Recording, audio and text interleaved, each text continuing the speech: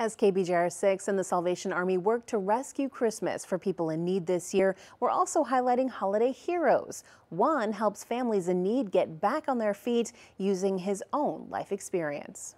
The Salvation Army thrift store in Lincoln Park is a busy place, combining shopping and support. The thrift store, it gives an opportunity to have a little bit of income to help our corps and the work that we do with the social services. One of those services operates right above the thrift store. Caseworker Shane Colmer is part of the transitional housing team, giving people a fresh start. It's something he once needed himself.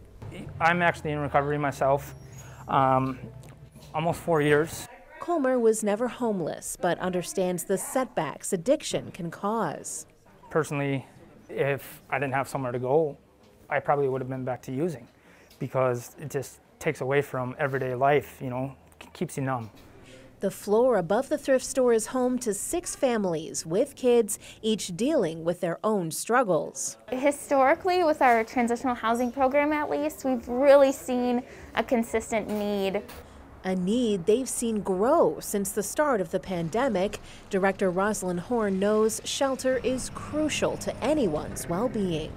If you don't have a permanent place to live, you really struggle to be successful at any other area in life. You need that permanency, you need that safety and security that comes with permanent housing.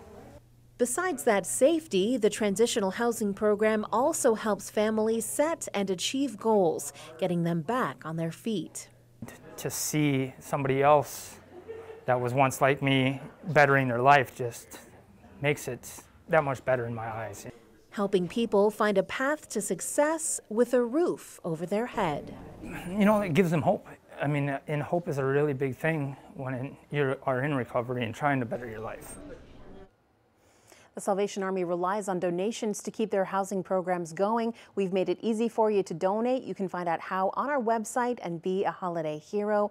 Don't forget to post on social media and use the hashtag RescueChristmasKBJR.